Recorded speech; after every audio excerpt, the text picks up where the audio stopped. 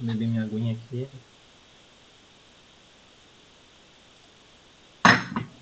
Pessoal, boa noite.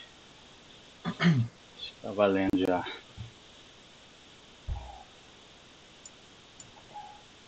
Já, já tá. Para mim já apareceu. Beleza. Já?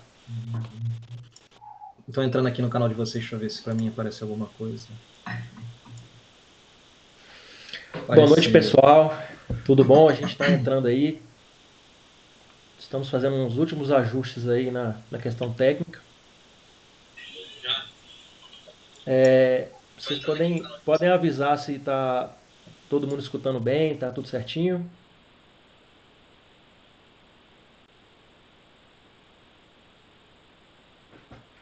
Está funcionando. Deixa eu ver.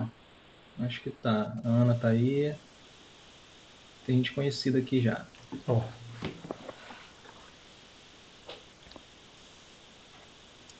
Deixa eu mandar aqui também para mais algumas pessoas.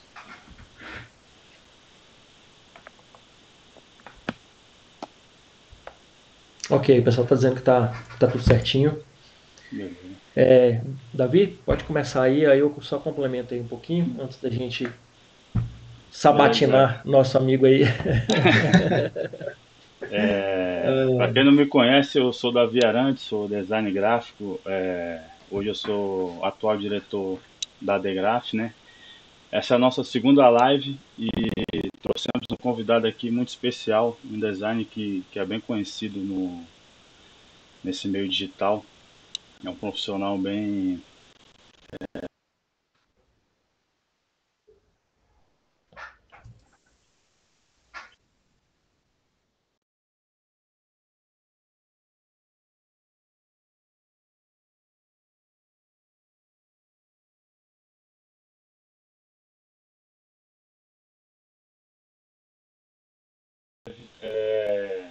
nosso associado, Eduardo Menezes, também, que é um designer aqui no DF, ele é bem conhecido também. Nem tanto. Uns consideram esse copo de design, porque ele conhece bastante também.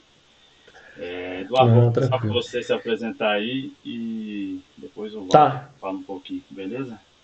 Boa noite a todos, pessoal. Beleza, claro. E vamos seguir nessa live aí. É, tem alguém que tá mandando dizer que ficou mudo, tá? Só Por um tempo. Mais alguém aí. Por um tempo o é. áudio dele ficou, mas depois. Tá, beleza. Bom, gente, essa coisa técnica, né, a gente vai se acertando, essa coisa ao vivo, né? É, é assim mesmo. Meu nome é Eduardo Menezes, eu sou designer gráfico. Uh, eu sou ex-presidente da Degraf, né? E tenho contribuído aí na Degraf para que a gente consiga ter uma associação bem ativa. É, a gente está fazendo uma série de lives, né? É, trazendo conteúdo, trazendo convidados especiais aí para falar sobre os assuntos é, pertinentes né, à nossa atividade. E hoje, né, é, quem está aí é o, o, Walter Matos, ele para mim já, já é assim, mais próximo, a gente já tem batido bola de vez em quando por alguns assuntos aí. Ele, ele é colaborador da Degraf, apesar de não estar tá aqui, na, aqui em Brasília, né? Mas ele é colaborador nosso aí já. E a gente vai começar aí é, a live. Vou só dar só um aviso rápido: o seguinte, a gente já tem uma série de lives mais ou menos agendada para esse mês e para o mês que vem. A gente está fechando algumas datas. Algumas pessoas que a gente já vai, já está fechado, só está com alguns acertos aí. É o Bruno Porto, que é parceiro nosso aí. É, tem um pessoal uh, que vai falar depois também sobre registro de marcas e patentes. Depois a gente vai explicar direitinho, fazer um agendamento direitinho. É, tem nosso colega em atual, né, ele vai falar sobre o mercado, como é que essa coisa é, essa tem né, para muitos colegas aí que está mudando de, um pouquinho do, de área, né, dentro do design, mas mudando um pouquinho o foco. Os convidados aí, Walter, quero agradecer a é, Eu que agradeço. E tá contigo aí. Acho que dispensa apresentação, mas se quiser falar um pouquinho, tem sempre alguém né, que tá é, te vendo talvez pela primeira vez e a gente claro. vai bater um papo hoje aí sobre autopromoção, né? É um uhum. tema bem, bem diferente, né? Não vai ser necessariamente criação, que é o pessoal sim, né, sim. sempre pede. Mas está contigo aí. Boa noite, obrigado de novo. Boa noite a todos aí. Bom, vamos lá. Primeiro agradecendo vocês dois aí, Eduardo e Davi. Os dois são Eduardo, né? Tô vendo aqui agora o, é. Davi, o sobrenome. Eduardo, é, é, é, eu sou Walter Matos, sou designer já há um bom tempo. O Eduardo pediu para não falar datas, então eu não vou falar quanto tempo eu estou aqui atuando no. Não, mas foi só uma brincadeira, só para não, não, denunciar a idade, né? Aham, eu sei. É, mas já estou há bastante tempo, vamos deixar assim, estou há bastante tempo aí no cenário e há, alguns anos vindo com foco em marcas, em criação de marcas. É, alguns aqui devem saber, eu tenho um blog, eu tenho um canal no YouTube que está parado há mais de três anos, mas continua aí movimentando alguma coisa. Vira e mexe eu recebo. Hoje mesmo eu recebi e-mail com dúvidas sobre um texto meu lá, ou sobre um vídeo, acho que era sobre um texto. É, então, tentei fazer essa parte aí de produzir conteúdo por um tempo. Talvez eu volte um dia, mas.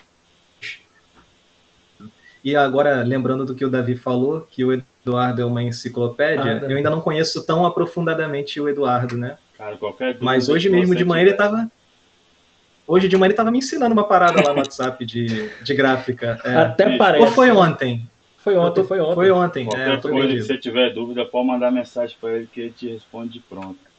É, e hoje eles me desafiaram para vir aqui falar de autopromoção. O cara que está sumido desde 2017. É. que eu não. Só um instantinho, que eu pensando que você congelou. Eu? O Walter, é. Ué, mas aí vocês estão me vendo, né? É, eu tô escutando aqui. Tô, tô, tô te vendo. Tem gente Ué. falando que voltou, só para confirmar aí, tá? É, mas ele, vocês continuaram me vendo aqui normalmente, né? É, não, aqui tá normal. Ou será que é porque eu tava parado e aí parecia que eu tinha congelado? Não, é, deu uma congelada na imagem, sim. Deu? Ué, Beleza. engraçado, voltou, né? Voltou aí, pessoal. Dá um, dá, dá um alô aí. Ah, voltou. Já tem dois, duas pessoas avisando ali. Tá. Beleza, beleza sei onde eles pararam de me ouvir, mas eu estava falando que eles me desafiaram aqui a falar sobre autopromoção. E eu aceitei o desafio justamente porque por ser um tema fora da minha zona de conforto, né? Porque eu nunca penso no meu trabalho, eu nunca penso em me promover, né? Eu nunca pensei dessa forma uhum. em promover o meu trabalho, eu como ganhar visibilidade, eu como crescer. Uhum mas as coisas no meu caso aconteceram naturalmente nesse caminho, né? Então talvez eu tenha alguma alguma coisa para compartilhar com vocês, mas também estou aqui para levantar reflexões, para criar dúvidas junto com vocês também. A ideia aqui uhum. é, é debater esse tema, né? E ver se saem coisas interessantes que o pessoal que está acompanhando pode aproveitar. Uhum. É, o pessoal está mandando mensagem que falou que de vez em quando está dando uma travada, mas o áudio está normal é, o, o, o Walter tá indo e voltando. Mas assim, Caramba, pode aqui. ser alguma coisa em relação à internet mesmo, né? É, mas aqui a minha internet está estável e você tá me vendo normalmente, não tá? Uhum. Tô, tô te vendo normalmente. O pessoal tá dizendo que congelou. Ah, não. Eu tô vendo aqui no YouTube. Agora quem, só quem tá se mexendo aqui é o Eduardo. Você tá travado também junto comigo. Eu tô olhando aqui é pelo, pelo é, YouTube. Vocês dois estão congelados mesmo, mas o áudio está é, saindo. Caramba, pior que o pessoal tá reclamando mesmo.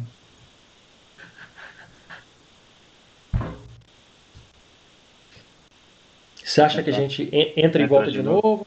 Vamos tentar, né? Pra ficar melhor. Tá. Pessoal, pra gente ah. melhorar, é, a gente vai. Ele vai conectar novamente para a gente ver se melhora aí para vocês, tá? Porque a gente quer né, levar um conteúdo com qualidade aí. É, eu, que eu tô lendo a mensagem. É, o meu aqui também travou. Deixa eu só dar um, um recarregar aqui na página uhum, uhum. para ver se volta. Tá certo. Não, não voltou não, aqui no YouTube. Uhum. É, então tá. O que, que a gente faz? A gente reinicia então? É, o Eduardo voltou aqui.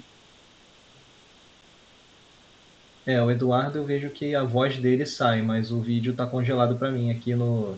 É, na verdade, só, na só verdade ele, ele, dá um delayzinho quando. Não, mas o Eduardo voltou agora a, a, o vídeo.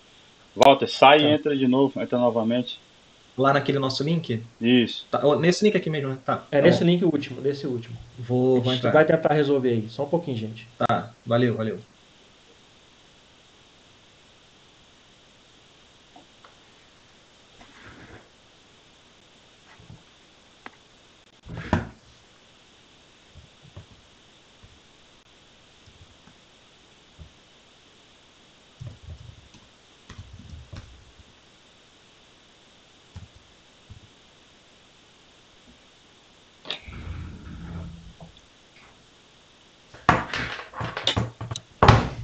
Só avisar aqui a galera, mandar mensagem.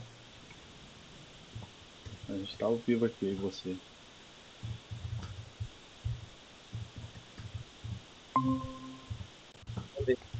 Entrou novamente, agora tá funcionando legal. É, aqui eu não vejo vocês travados em momento nenhum na nossa tela, né? Eu vejo só na. que eu tô acompanhando no outro monitor aqui também. Uhum. Deve ser o delay. O é, o, YouTube. No, no, YouTube ele, ele dá um delayzinho, ele tá um pouco atrasado. Mas... É, é.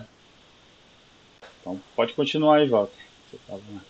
Vamos lá, deixa eu ver onde é que eu parei. Peraí que eu já tô ficando esquecido. Ó, lá no, lá no, no, no, no, YouTube, no YouTube para mim você já tá ok, tá todo mundo ok. Beleza, pessoal?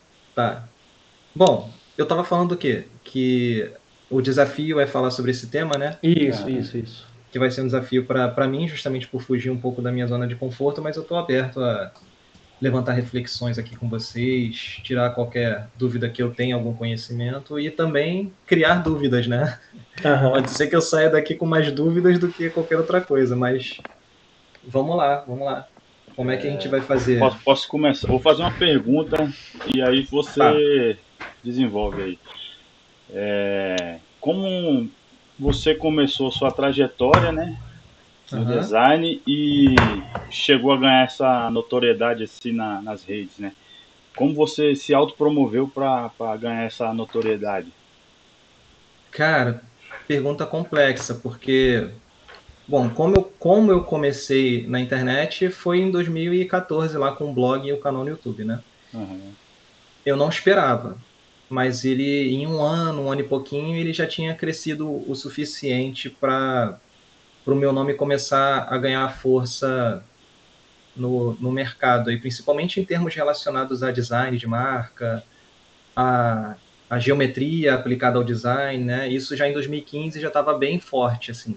Uhum. Então acho que eu dei sorte nesse sentido, por eu promover algo, por eu falar sobre algo que na época quase ninguém ou ninguém falava, e tinha esse diferencial de estar tá meio que juntando um pouco de geometria, matemática e design, e isso acabou chamando a atenção de algumas pessoas. Só que eu também falava de tudo, então por que que eu, aonde que eu atribuo esse esse boom, né? Ao fato de eu não falar só de uma coisa em específico, eu não falava só de, de, de design de marca, eu não falava só de proporções e geometrias, eu falava de Illustrator, eu falava de Photoshop, design, talvez. Enfim, eu falava de temas e tutoriais, né? Fazia tutoriais também, uhum. de Illustrator principalmente, acho que o que eu tinha mais era Illustrator. É, eu vi no muito, final, assisti muito. É, no final desses três anos, eu tive no máximo, eu sempre falo isso porque eu nunca sei o número exato, 50 a 60 posts, no máximo, nesses três anos. Mas eram conteúdos densos, né? Então acho que isso ajudou a, a o nome e a espalhar. Mas, uhum. mas acho que antes disso, lá em 2011, 2012, eu já vinha fazendo um papel de construção de um nome, de um posicionamento na internet, que veio me ajudando, sem que fosse uma estratégia. Vocês estão me ouvindo bem aí? Tá tudo certinho? Sim, sim. Para mim tá ok. Vocês dois travaram de novo a imagem. É, no vídeo ali travou. Poxa, que sacanagem. é, não sei se o pessoal tá me ouvindo, acho que tá, porque eu Tá, ouvindo... tá escutando, todo, acho que todo mundo tá escutando bem, só não tá vendo a imagem, né? Tá travado, né? Será numa que esse outro, esse outro servidor que joga pro YouTube? Porque Cara, aqui sinal, a gente tá vendo normal, né? O sinal aqui tá muito bom. Não, não, não é nem, acho que é, é o servidor que está fazendo essa conversão lá para o YouTube. Será que não é de lá o problema? Não, ele tá, tá, tá dando bem aqui. Tu consegue ver aí, né? Consigo, eu visualizo por ele, né? Na verdade. Pior que quando trava, quando trava, só reiniciando mesmo, né? É, vamos, vamos ter que reiniciar novamente, né? Ah, e o Eduardo também travou aqui. Travou. Aí vocês dois reiniciam. Tá. É, então o pessoal falando que está conseguindo escutar bem, normal. E é, talvez não precisasse reiniciar, mas aí vamos reiniciar que é melhor, né? Tá, vamos lá. Eu vou e volto. Espera aí, se o pessoal estiver ouvindo. Só um minutinho, pessoal. É comercial, daqui a pouco a gente volta. Tomar uma água aqui. É.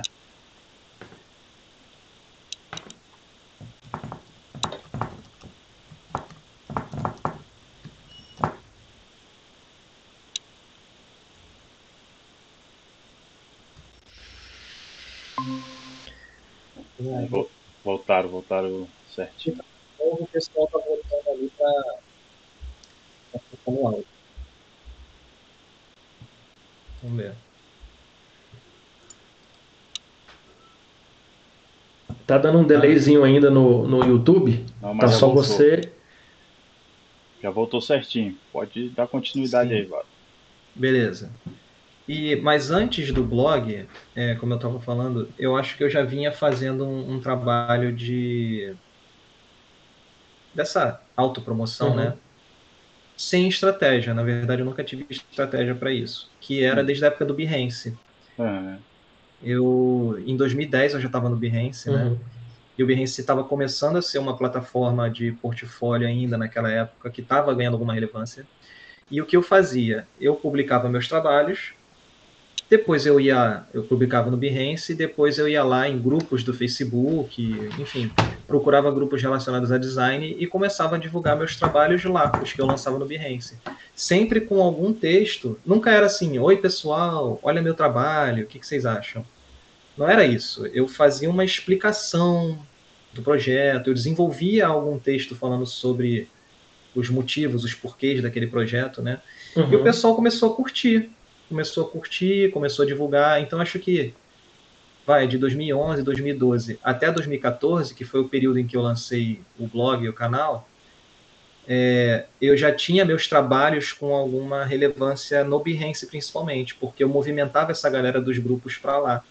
Então, isso ajudou a divulgar o meu trabalho. E eu acho que quando eu me lancei no, no YouTube, é, e o pessoal começou a investigar quem é esse cara que está fazendo esse canal, produzindo esse conteúdo, viu que eu já tinha um trabalho que, de certa forma, já tinha uma visibilidade, né? Uhum. Então, assim, esse é um resumão, acho que dessa minha trajetória até ficar com, com, com um nome que, que foi crescendo aos poucos na internet. Mas só cresceu graças às pessoas que estão do outro lado, né? Porque uhum. muito disso eu devo não é esse início de ir nos grupos. Eu mandava mensagens, eu marcava pessoas. Então, assim, se alguém tivesse sido referência para mim, é, para o meu trabalho, e eu tivesse admiração por aquela pessoa, quando eu publicava um conteúdo, eu ia lá no Twitter e marcava a pessoa. Então, eu fiz isso. Eu ia lá no, no portfólio da BR Bowen, por exemplo. Uhum. A gente meio que começou junto a aparecer ali, né? É, no Behance, né? Uhum. Só que eles, eles já eram muito bons naquela época. E eu ia lá e fazia um comentáriozinho no post da BR Bowen, ou ia lá no meu Twitter, publicava um trabalho e marcava alguém uhum. mencionando o que foi minha referência, ou foi inspiração, etc. Então acho que essas pequenas coisinhas foram me ajudando a, a pelo menos mostrar que eu existia. Uhum, uhum. E aí Era você isso. alcançou, você alcançou mais clientes pelo Behance mesmo? Não, não. Hoje chega cliente pelo Behance, mas é extremamente raro. O que chega por lá é muito pedido de orçamento e muito internacional, muito de fora. Mas a maioria não aprova, porque pelo menos a, a, até a mim só chegam clientes que querem mão de obra muito barata.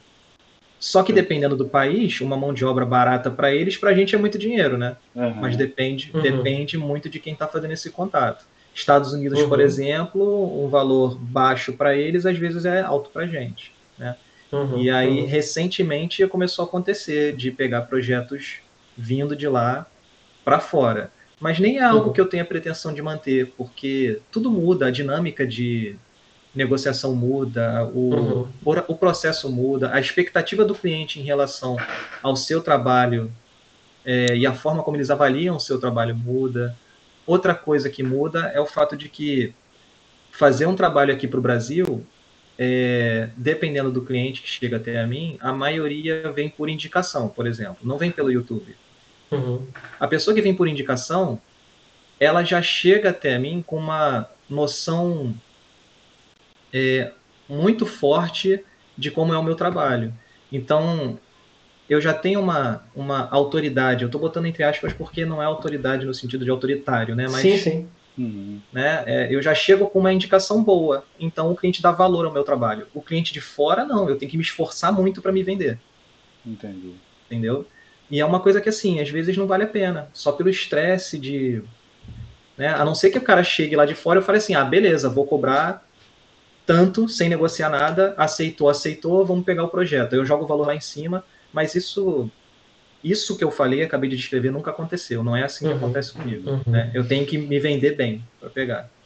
É, Walter, você falou assim do Behance, né? Behance é bem conhecido pelos designers, obviamente, mas como divulgação, né, como autopromoção, uhum. você acha que ele é eficiente também para o público em geral? Porque assim, o designer já conhece, uhum. mas muitas vezes o, o, o, cliente ele nunca ouviu falar em Behance, por exemplo.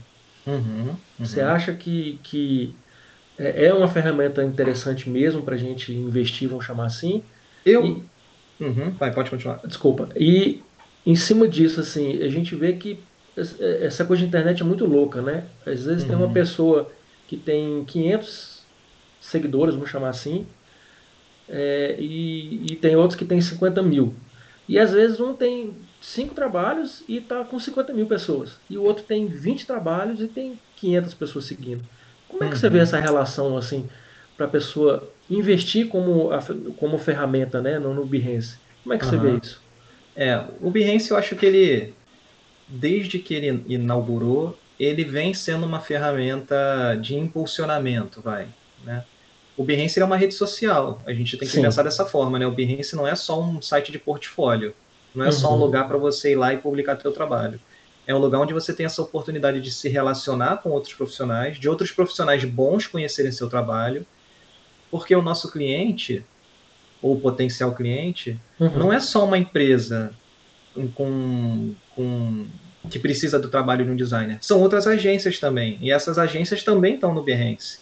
Uhum. Então, se o teu nome se fortalece na, lá, é, agências pode, podem chegar até você, gostarem do seu trabalho e te contratarem. E isso já aconteceu comigo algumas vezes, de agência uhum. me contratar. Entendeu? Aí sim, essas agências me conheceram ou pelo Behance ou pela, pelo blog, pelo canal.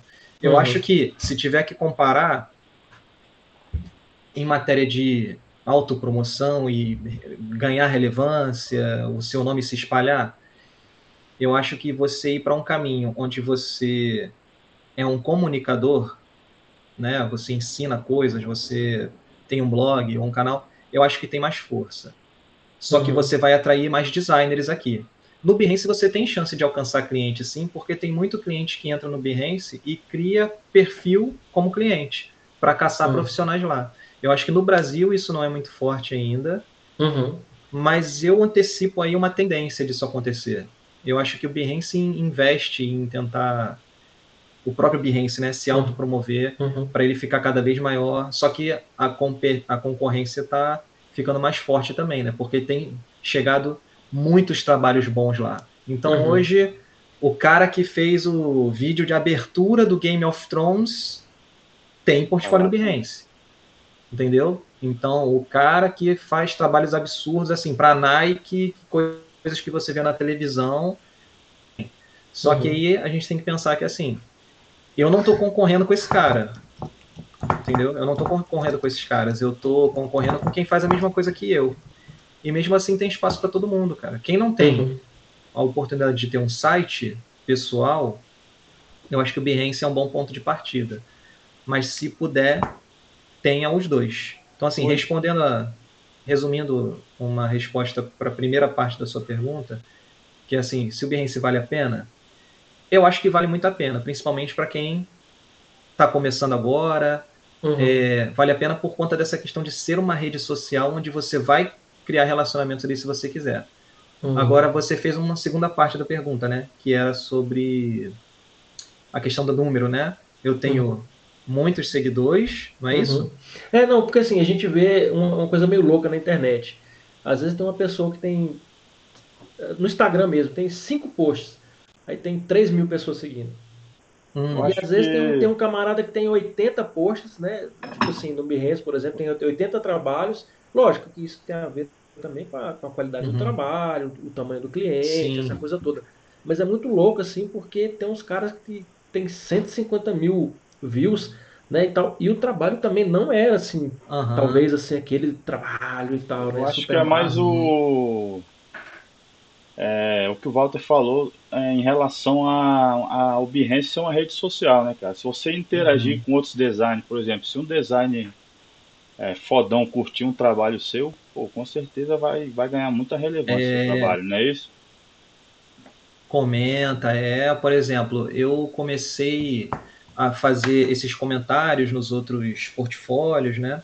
E aí veio o BR Baum comentar meus trabalhos, vieram é, grandes nomes do Behance mesmo, lá de fora, comentar meu trabalho, e aí você vai criando vínculo. Daqui a pouco tá virando amigo no Facebook. Hoje em dia, Facebook menos, né? Uhum, menos forte. Uhum. Mas no meu caso foi assim. Quando eu vi, tinham agências grandes comentando meus trabalhos, daqui e de lá de fora, e eu criando relacionamentos com, com eles, de virar amigo, de bater papo, de trocar ideia, com gringo mesmo, trocar essas ideias e tal. Uhum eu fiz alguns bons relacionamentos ali que acho que me ajudaram a. Aí toda vez que eu lanço um projeto, essa pessoa vai lá e comenta, essa pessoa vai lá e curte, e isso ah, aparece na rede dela. Uhum. Isso aparece na rede dela. Então, uhum. se eu tenho mil seguidores, vamos supor, e a pessoa tem 30 mil, ela, quando curte meu trabalho, vai aparecer meu trabalho para 30 mil pessoas que seguem ela.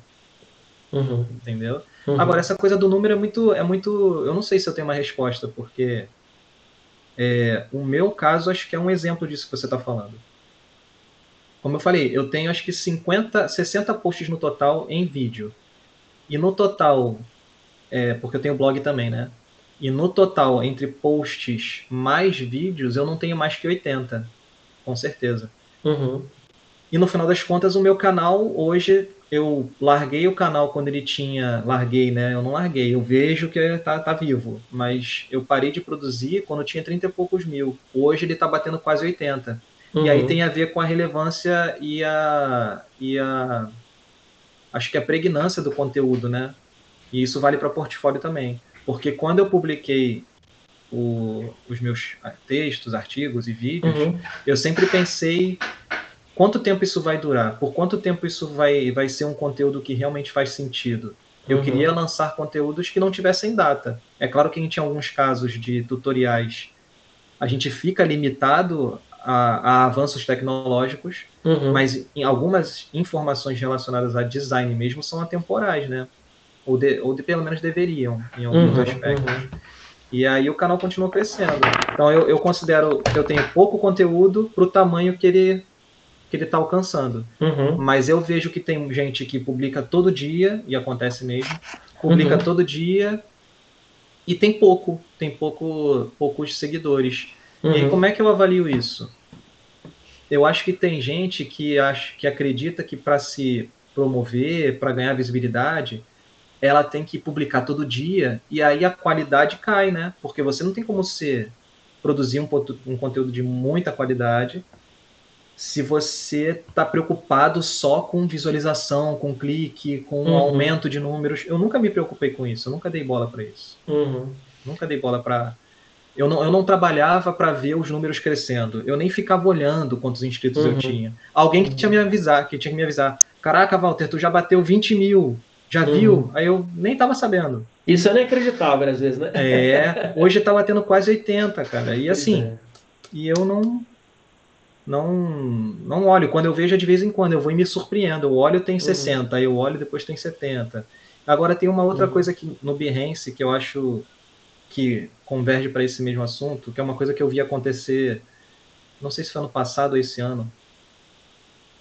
Se você for no Behance e procurar o meu nome ou o nome do Marcelo Kimura, por exemplo, uhum. ou alguma outra pessoa que está aí produzindo conteúdo, a Diana, é, o Guilherme Vissoto, são pessoas que o pessoal costuma comentar bastante. E for lá no Behance pesquisar por esses nomes, você vai ver que tem pessoas no Behance usando o nosso nome como hum. tag. Como hum, tag. Sei, sei, sei. Então, lá, eu, eu publico um portfólio sobre. Sei lá, eu fiz uma marca para uma empresa de dermatologia. Aí nas tags, normalmente você vai colocar o quê? Branding, dermatologia, identidade visual, nananã, minimalismo. Se for uma parada que tenha que seja uhum. minimalista, tu vai escolher é, é, é, palavras que tenham a ver com aquele conteúdo que você está publicando. Tem gente que só quer ver número, tem gente que quer clique, que quer que as pessoas quer explodir. E aí vai e usa um nome de alguém que eles acham que vai ter muita procura. Uhum. Então vai lá e bota Marcelo Kimura na tag de um projeto que o Marcelo nem sabe que existe. Hum, Essa pessoa tá. só está preocupada em aumentar a visualização. Essa pessoa vai conseguir? Não vai. Porque uhum. ela não está preocupada com qualidade, ela está preocupada com o número. Uhum. E não, não vai, não vai crescer. Inclusive queima o filme dela, né? Isso uhum. vai queimar o filme dela. Tem uma. O pessoal está mandando algumas poucas perguntas aqui. Uh, a gente tem outras perguntas que a gente recebeu durante a semana também. Uhum. O Sérgio Freitas, boa noite, Sérgio. Fala assim: é, mas, Walter, e o Instagram? Uma rede visual com ampla divulgação e possibilidades comerciais. Uhum. Não seria mais interessante para nós designers? Uhum. Tá. Sobre o Instagram, eu acho ótimo. Eu achei esse, ótimo esse tema de autopromoção justamente por isso. Como eu falei, uhum. é um tema que eu não tenho nenhuma estratégia para nada, mas, uh, mas eu, eu consigo é, conversar e refletir sobre como eu cheguei em algum uhum. lugar, né? Em algum lugar uhum. onde as pessoas conhecem o meu nome. E, e não foi através de Instagram. Hoje o meu Instagram tá lá, é, ele continua crescendo também, mas eu posso até ver isso agora em tempo real, ver quantas, quantas publicações eu tenho no Instagram. Ó, vamos fazer aqui ao vivo, hein? Eu tenho 50 publicações, quase igual a mesma do YouTube, né? Eu tenho exatamente 50 publicações no Instagram. Aham, é, eu tô vendo aqui também. É, e hoje o Instagram tá com 16 mil, né? 16 mil e pouquinho. Uhum. Mas hoje, o que, que acontece no meu caso? Eu vou tentar responder a pergunta do. Do, do Sérgio. Do Sérgio. Mas no meu caso em específico, quem faz o meu Instagram crescer são as pessoas que me acompanham. Eles é que pegam e começam a divulgar meu trabalho, porque eu mesmo não publico nada eu apareço igual Cometa Harley, a cada 200 anos, ali para dar um oi. Uhum. Né? Mas realmente, eu vejo que estão no Instagram também, né? Uhum. Se você mantém uma certa regularidade lá no Instagram e realmente ele é muito visual e ele dá muitos é, como marcar tags e etc., você consegue aumentar sim o, o, o número de visualizações. Agora, a conversão disso eu não sei, não sei avaliar. Eu não sei como que isso se converte em cliente. Clientes pelo meu Instagram não chegam. Por mais que ele tenha chegado a 16 mil, pode ser que daqui a pouco bata 20, 30, mas como eu nunca me promovi usando o Instagram como uma ferramenta de autopromoção, é extremamente raro chegar cliente para mim por lá. Uhum. Eu não uhum. sei quem é que está lá procurando designer no Instagram. Uhum. Eu sei que o cliente vai chegar no Google e vai digitar assim: designer, ou assim, quero construir uma marca. A gente não sabe o que o cliente escreve, né? Mas com certeza não é, normalmente não vai ser, imagino eu, designer gráfico. Acho que esse termo vai ser difícil. Deve ser assim: quero uma marca, quero não sei o quê. E aí, se você está na internet posicionado com um site onde esses termos são relacionados ao que você faz, aí uhum. você tem mais chance de ser encontrado, entendeu? Uhum. Não acho que o Instagram é uma ferramenta ruim, não. Muito pelo contrário. Uhum. Acho que ele é uhum. ótimo. É, mas eu não utilizo dessa forma. Eu tenho muito mais é, relacionamento criado através do Behance, por exemplo, do que no próprio Instagram. Entendeu? Eu tenho uhum. publicado recentes alguns projetos. Eles dão muita visualização, dão muito clique. Eu posso falar até em números aqui para vocês.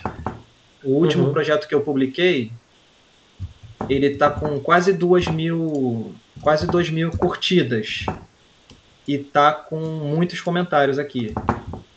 Uhum. Não trouxe nenhum cliente para mim. Não trouxe nenhum cliente para mim. Eu tenho um vídeo no Instagram que tem quase 9 mil visualizações, também de projeto de marca. Tem muitos comentários. Não trouxe nenhum cliente para mim. Então, os meus clientes não vêm do Instagram. Entendeu? Eles não vêm de lá, uhum. com certeza. É, falando do Behance um pouquinho assim, o que, que você acha fundamental em termos de divulgação uhum. para a pessoa montar um Behance mais eficiente?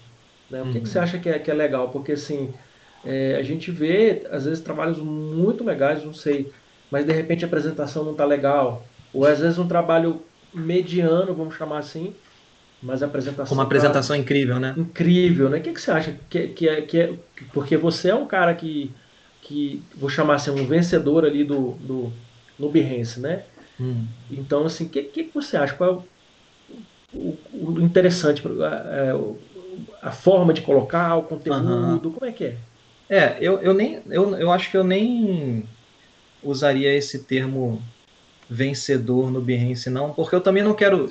É, eu também não quero estimular as pessoas a, a acreditar que, que você precisa estar tá ali.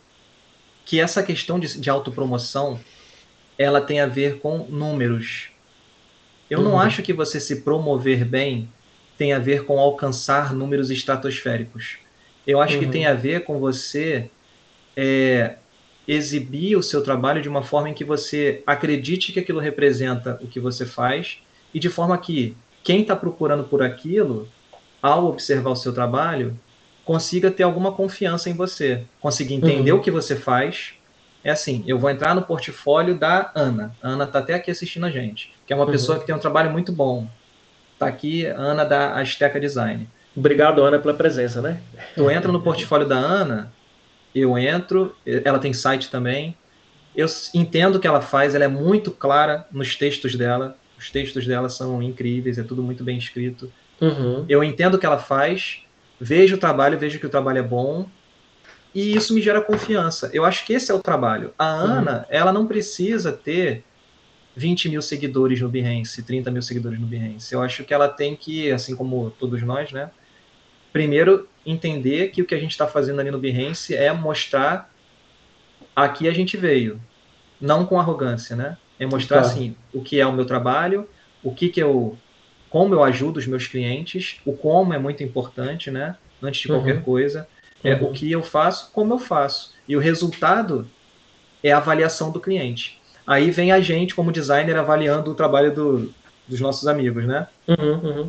E acontece isso de fato. Às vezes a pessoa tem um trabalho que onde a marca tem um desenho muito bom, mas a apresentação é ruim. Então a pessoa peca nessa percepção. Mas às vezes essa pessoa que para gente que é designer está avaliando como um visual ruim, pro cliente que é leigo, ele às vezes uhum. entrou ali, leu, entendeu, achou bonito, porque ele não, ele não faz muita distinção se ele não tiver muito com o que comparar. O cliente, estou uhum. falando da ótica do cliente, tá? Uhum, claro. Ele não faz muita distinção, né?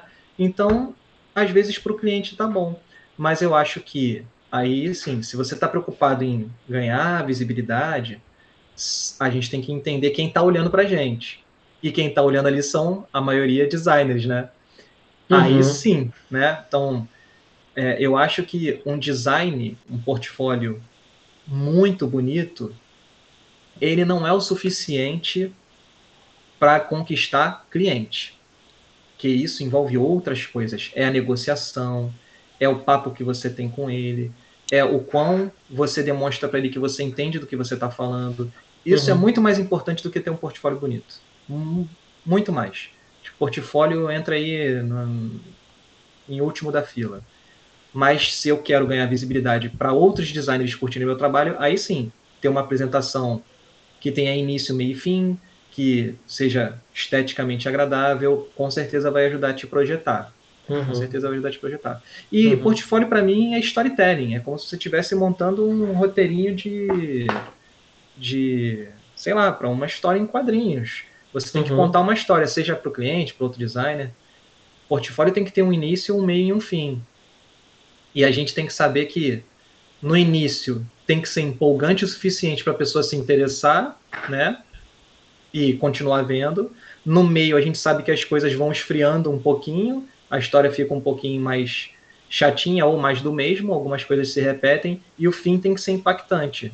As últimas imagens do meu portfólio, elas têm que estar ali para impressionar, que é para estimular a pessoa que chegou ali a comentar alguma coisa ou a curtir. É esse uhum. finalzinho uhum esse finalzinho do portfólio é o que importa mais, assim. Uhum, uhum. Pensando é... por esse lado só de atrair curtidas e tal, né? Walter, é... Eu dei uma olhada em algumas é, perguntas que a gente recebeu na, no Instagram e aí fiz um, mesclado delas e, e, vou resumir em uma só. É, tá. Para um, jo um jovem estudante, ele não tem muitos trabalhos e como ele se lançaria para vender a imagem dele? Hoje ele está tá, tá se formando, tem poucos trabalhos e qual seria a melhor estratégia? Rede social ou, ou Behance? Como uhum. você acha que ele deveria fazer para estar tá vendendo essa imagem dele como profissional de design? O legal é que a gente está falando algumas coisas aqui que sempre me jogam para o Behance, né? Parece que é uma palestra sobre Behance. É, porque, porque na verdade, para nós designers, ela é uma uhum. ferramenta, assim, de grande visibilidade, né? Sim. É, é. Como você falou, às vezes não é o cliente final que vai fazer o contato, mas é uma agência que está querendo uhum. um, um, parceiro, alguém para fazer algum trampo. Isso. E é uma ferramenta, pelo menos para nós designers, muito conhecida, né? É. Não vou dizer que, sei nem dizer se é a mais conhecida, mas é, é, é hoje em dia, para a gente, é uma é. grande referência, né? Sim, sim. Essa pergunta é muito legal porque me lembra mais uma vez o Behance. Uh, tem profissionais que ficaram muito conhecidos e conseguiram ótimos empregos e ótimos salários ou abrindo agências muito conhecidas que na época que não tinham nada, não tinham trabalho nenhum, fizeram lá uma simulação de um projeto para uma marca muito grande. Então, para dar um exemplo, é, é, que eu não lembro o nome do cara aqui de cabeça, mas tem um cara que ficou muito conhecido lá para 2013, 14, não lembro, que fez a marca do Facebook. Ah, ele redesenhou, ele redesenhou não só a marca, mas toda a interface ali do projeto. Facebook, né? Uhum. E, e, era fictício. E o negócio explodiu de uhum. curtida de visualização. Hoje uhum. o cara é um bambambam, bam, bam, aí é uhum. hiper conhecido. Acho que ele não fez só do Facebook, ele fez outras. Antes, do, fez um... antes do tema escuro, ele fez esse projeto com tema escuro, né? É, é, exatamente. E aí acontece isso ou eles são contratados uhum. ou gera ideia para a galera, né, para as uhum. empresas. Então, às uhum. vezes você não tem nada, mas você tem ali uma boa sensibilidade, mesmo que você não tenha ainda muito conhecimento, mas você tem uma uhum. sensibilidade visual, estética legal uhum. apurada, uhum. monta um portfólio fictício, cara. É, é, tem até uma pergunta aqui de um colega que pergunta se, se fazer, vamos dizer, um portfólio, seja no Behance ou não, com trabalhos que não são reais, né? Uhum, isso é legal, né? né? Sim, é, sim. Eu acho legal também, assim, até comentando só, né? Entrando, no, sei que é o nosso comentarista hoje não. oficial, mas assim, acho que a gente vai, vai compartilhando algumas ideias, né? Porque na verdade, assim, a pessoa fica muito preocupada e óbvio, né? Dependendo do cliente que você atende, isso chama atenção. Você faz um, um trabalho para uma Coca-Cola, óbvio, né? Você tem uma visibilidade uhum. fantástica. Mas muitas vezes a pessoa que está procurando um designer ali, ele, agência, por exemplo, ele quer saber disso, mas ele quer saber também assim, pô, a capacidade criativa que ele tem, qual, como é que foi a solução, né, que ele, que ele deu para aquele problema. Ué, só tá tocando meu interfone. Não tô esperando ninguém, deve ser engano. Deixa eu só. deve ser engano. Deixa eu atender é, assim, é, não, pedi nada não. Só um minuto. Eu ia pedir uma pizza. Só um pouquinho, gente. Ao vivo é assim. Pois é, pessoal. Então, assim, comentando essa parte enquanto ele, ele volta ali, é, muita gente pergunta, né? Estudante e tal, pergunta, poxa, é legal de fazer um portfólio com trabalhos que não são né, trabalhos é, é, é para cliente real. É importante sim, porque nessa hora as pessoas estão procurando uma solução criativa, legal, né? Uma coisa assim, uma apresentação mais profissional e você já apresentando isso, Oi. né? Voltei. Já dá certo. Ele voltou aí. E acabei de ver que meu casaco arrebentou alguma coisa aqui. Aí. Oi. Oi. Voltei? Voltou, voltou. Ok? Ok. Eu estava comentando, Walter, assim, que muito estudante pergunta, né, se é legal, de, então, de postar um trabalho fictício e tal. Uhum. Eu acho muito legal e eu acho até melhor do que. É, é, essa semana eu estava conversando com, com o pessoal do trabalho e tal que um colega ele teve é, é, numa situação de fazer avaliação de uma pessoa que estava procurando um trampo, né? Uhum. E ele foi avaliar e quando ele viu a pessoa levou o trabalho que esse cara que estava avaliando fez, como se fosse dele. Caraca. É. Então, tipo assim, isso não é, não é muito incomum, não. Eu não sei, né? Antigamente, principalmente, era até mais difícil porque você fazia um trabalho e não estava divulgado em lugar nenhum, né? Não estava em lugar nenhum. Agora é. tá na internet, você postou ali. Mas como vezes... é que ele fez? Ele, como é que é a história? Só para eu... A história é o seguinte, ele estava fazendo uma seleção na, na, agência que ele trabalhava, estava uhum. fazendo uma seleção de um, de, um, de um diretor de arte, um designer e tal, uhum. e chegou uma pessoa para mostrar o trabalho, para ser avaliado, né? E aí no meio dos trabalhos ali, uh, tinha um trabalho que era dele que estava avaliando, que feito na própria agência. Era do. Caraca, do próprio avaliador. É, do próprio avaliador. O cara plagiou o trabalho. Começou a passar, começou a passar e tal. Nossa, e de repente ele viu outro trabalho também da agência e tal. Aí quer dizer, é muito melhor você fazer um, um, trabalho fictício ali, mas que é seu mesmo, que você criou, que você ralou para fazer, você tentou ter uma, uma, uma solução criativa, né, um negócio legal. Então, uhum. do que de repente fazer um negócio desse, né? Quer dizer, isso é um tiro no pé, né? É, para quem está falando de, de autopromoção, né? E olha, isso não é tão incomum. Uhum. Anos atrás, é, uma pessoa foi é, se, se associar na Degraf, né? E, uhum. e, quando a pessoa não tem informação, né? A gente faz uma avaliação do trabalho, tem uma tem um, o pessoal da consultor, que é consultor ali de, de, de para fazer essa avaliação e tal. Uhum. E aconteceu uma coisa parecida. O camarada apresentou um trabalho que o nosso, um dos nossos avaliadores da época é, tinha feito. Então, tipo assim, a gente pensa que é muito incomum e não é. Ainda mais hoje em dia é. internet. Né? É. O pessoal é, é, é, pega essa, essa coisa de, de pegar um trabalho pronto, né? É. Isso tem a ver também com outro assunto que não é o de hoje, mas essa coisa do. Que é plágio, pessoa, né?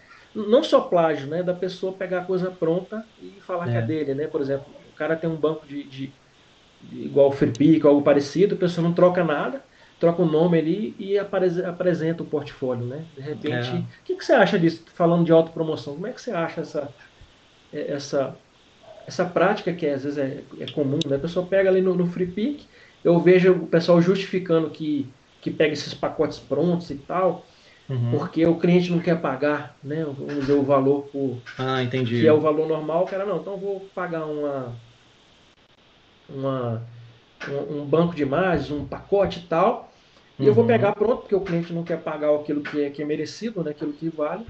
Então Entendi. ele pega uh, e de repente ele ele pega o negócio pronto, né, para justificar uhum. aquilo que ele está, é, vamos dizer assim, cobrando mal, né, vamos chamar assim. É, eu confesso para você que eu só conheci o FreePic ano passado, cara, de tanto que eu ouvia falar. Uhum. É uma, uma, sei lá, como é que eu chamo de ferramenta que o pessoal tem falado bastante. Ano passado eu ouvi muito esse nome, ano retrasado, vai, não foi nem ano passado, foi ano retrasado. Uhum. Então eu nem conheço muito a fundo o FreePic. Eu sei que é um banco de imagens que também tem vetores, né? isso, isso. E eu tem crescido acho... muito. Tem, ele tem uma, é, a qualidade melhorou. Eu acho que você, tirando a parte da marca, tá? Eu acho que você usar uma, um banco, seja qualquer banco, onde você consiga pegar alguns assets ali, alguns, uhum. né? que te ajudem a criar um projeto gráfico, contanto que você crie realmente algo original partindo daquilo, uhum. não vejo problema algum. Agora, você pegar uma marca pronta que você Isso. não fez, você não criou, você pegou uma coisa pronta. E você está vendendo para o teu cliente, o teu cliente pagou mal, vai. Mas na cabeça do teu cliente, ele está recebendo algo que é só dele. Uhum. Você não está falando para o teu cliente que você está vendendo para ele uma coisa que está pronta se você está fazendo isso, você está enganando seu cliente. Agora, se tu chegou, comprou no Free Pick e falou para ele, estou comprando no Free Pick, eu estou te dando algo que não é exclusivo. Uhum. Não é exclusivo. Você está pagando tanto, eu estou te cobrando. Ninguém vai fazer isso, né? Mas uhum. eu sei que ninguém vai fazer isso. Mas se assim, se assim fosse, eu ia falar, ok, está sendo honesto, teu cliente sabe o que, que ele está comprando, depois uhum. ele muito provavelmente vai precisar de outra marca, vai ter que contratar alguém que faça algo exclusivo dele, né? Mas se fosse assim, não teria problema. Só que aí você tocou num ponto que me lembra outro que tem a ver com portfólio, uhum. que também acontece, eu vejo acontecer bastante, que é principalmente para quem está começando e não tem nenhum tipo de orientação sobre ética profissional, uhum. né? Principalmente essas pessoas que às vezes só estão ali estudando o design, entra, aprende através de blog, de canal, não tem muita referência teórica, né? Uhum. É, eles acabam copiando projetos. Isso já aconteceu comigo, já aconteceu com amigos meus. A pessoa copia o seu trabalho e acha que está te homenageando. Entendeu? Por conta da, da, da inocência. Uhum. Ela não sabe que é um problema eu pegar uma marca do Walter, do Kimura, fazer quase igual, mas diferente, porque está homenageando e vende aquilo uhum. para o cliente, entendeu? Uhum. Uhum. Isso não entra nem no projeto fictício, não entra porque você não está criando um projeto fictício, você está uhum. copiando um projeto. E também não é um projeto original, porque você está copiando um projeto. Então, também não é uma também não é uma homenagem, porque você está prejudicando, na verdade, o cliente. Vamos supor que copie o meu trabalho. Você está prejudicando o meu cliente, você não está me prejudicando. Né? Está prejudicando o meu cliente que pagou um valor para receber aquela marca e agora uhum. tem alguém vendendo a marca deles, uhum. promovendo uhum. em outro lugar. Né? Uhum. uhum. Então, esses cuidados tem que tomar. Vou aproveitar aqui, sei que vocês não fizeram essa pergunta, mas tem a ver também com portfólio, que é uma dúvida que eu recebo bastante e tenho discutido sobre esses temas recentemente. Que é, às vezes a gente faz um trabalho, eu vou, eu tô, eu sei que eu estou sendo uma tangente aqui, mas vocês já vão me entender.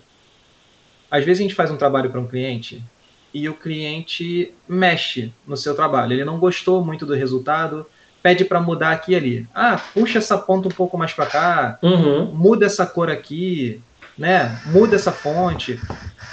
No final das contas, você não gerenciou tão bem o projeto, você gerenciou mal e você acabou tendo que é, modificar muito o seu projeto original. Pode acontecer, uhum. não, não necessariamente por erro seu, mas pode acontecer por erro seu também. Mas você entregou algo que você não ficou satisfeito. Aí tem gente que acha que pode fazer assim: não, o que eu entreguei para o cliente é uma coisa, o que eu vou botar no meu portfólio é outro. Eu entreguei o projeto A B, mas eu gostei do projeto A. Então uhum. eu vou uhum. divulgar o projeto A. Isso é legal? Ninguém nunca me perguntou muito sobre isso. Eu, eu vi isso acontecer muitas vezes, né? E aí eu comecei a levantar essa questão com amigos sobre ética em relação a isso, né? E eu não sei, eu até até estou abrindo aqui a conversa. Eu queria a uhum. opinião de vocês, porque o que, que eu penso sobre isso? Eu entreguei para o meu cliente a marca que ele aprovou e a marca que ele está usando. Ele está mostrando essa marca na, nas fachadas, no, nas redes sociais, enfim, na mídia, na mídia, né, em geral. E as pessoas estão vendo aquela marca. Só uhum. que eu estou divulgando outra marca, eu estou divulgando a marca que eu gostei. Uhum. Eu entendo isso como algo que também prejudica o cliente, porque é como se eu estivesse plagiando a marca dele, mostrando uma outra versão que não uhum. é a uhum. versão que ele está usando. Então, se uhum. chega um estranho no meu portfólio que é amigo do cliente e vê o meu projeto sabendo que é a marca dele, mas vê que está alterada, uhum. essa pessoa que não me conhece, ela pode chegar para o meu cliente e falar assim: ó, oh, tem um cara copiando tua marca ali, hein, tal de Walter Matos. Uhum. Né, tá copiando, porque não é a mesma marca, eu estou mostrando uma outra marca. Uhum, uhum. Né? Não é a mesma marca, eu estou mostrando outra. Mas se por outro lado, essa pessoa chega no meu trabalho e vê a mesma marca, a explicação do projeto, uhum. tudo direitinho, tudo batendo, ele vai saber que fui eu que criei aquela marca, ele não vai ter dúvida. É, dependendo de como uhum. você apresenta e você coloca assim, ó, a gente gerou tais alternativas, né? De repente duas que você gostou e tal, não sei. Uhum. E, e, mostra a versão que foi aprovada, a pessoa entende melhor que houve um processo. Sim. Né? E, é. e a, a, versão escolhida foi aquela, aquela específica, né? Uhum. Sim, sim. Ah, legal. Tem um. O Yuri está fazendo uma pergunta aqui, ele até acho que repetiu a pergunta. Hum. Que é o seguinte: o que vocês acham dessa febre de criação de conteúdo? Uhum. Isso, está isso está tornando as discussões rasas e já, e já que a maioria das pessoas estão postando resumos de livros e se posicionando como especialistas, né? Uhum. É, eu não tenho mais consumido muito. Na verdade, eu nunca consumi apesar de ter sido um produtor de conteúdo, ainda me considero porque eu gosto disso, só não estou atuando. Uhum. Mas eu nunca acompanhei muito conteúdo. Só que, de fato, eu também tenho percebido esse movimento de que hoje só tem produtor de conteúdo, né? Todo mundo uhum. que vai para a internet acaba indo por esse caminho, mas muito mais com o objetivo de conseguir público para vender alguma coisa. Né? Eu vejo muito isso, isso é muito forte. Eu vou para a internet, eu vou criar um Instagram, uma conta, eu vou uhum. soltar conteúdo ali. Quando eu tiver mil inscritos, eu vendo um e-book. Quando eu tiver 10 mil, eu vendo um curso. Uhum. Isso eu tenho marketing visto... de conteúdo, né? É, eu tenho. É, eu não acompanho, não, não absorvo esses conteúdos que eu tenho visto, tenho visto que, são, visto que são muitos. Eu acho que, de certa forma, se existe essa fatia né, do mercado, essa oportunidade é, para quem realmente acredita que está fazendo um trabalho útil de ajudar as pessoas, eu não vejo problema nenhum de você ir lá, produzir seu conteúdo, ganhar teu dinheiro, uhum. ensinar coisas legais, né? Agora, se existe esse movimento, que eu acredito que ele tenha razão, né? De que tem pessoas ali que estão ali só para ganhar dinheiro, só para escrever o que está em livro, infelizmente isso vai existir sempre, né? Pessoas que, que não estão preocupadas realmente em, é, em ajudar, em uhum. contribuir, elas estão preocupadas em encher o bolso de grana. Agora, uhum. cabe ao público também, eu acho que cabe a, a nós, aos, aos consumidores, saber avaliar. A gente uhum. tem que uhum. saber, cara, esse cara me ajuda? Esse cara ou essa, essa cara, esse cara ou essa cara, tanto faz. Essa pessoa está aqui, é, é, eu acredito no que ela está falando, ela está promovendo coisas positivas ou ela está aqui só para reproduzir o que se lê no, em livros ou reproduzir conteúdos de outras pessoas ou estimular qualquer tipo de, de ódio, porque tem gente que faz isso também, né? Em vez de fazer, de produzir conteúdo, fica querendo arrumar, é, como é que se chama hoje em dia? Treta. Agora uhum. a moda é treta. Eu tô na internet para crescer arrumando treta. Então o meu conteúdo ele é totalmente raso, mas o que me importa é aparecer porque eu tô falando mal de fulano ciclano. Uhum. E é assim que eu vou crescer. é assim que eu vou crescer. Uhum. Eu vou dar atenção para essa pessoa? Não porque ela não está contribuindo em nada, ela só está causando, né? Então acho que essas pessoas vão existir e elas só vão crescer se a gente quiser, uhum.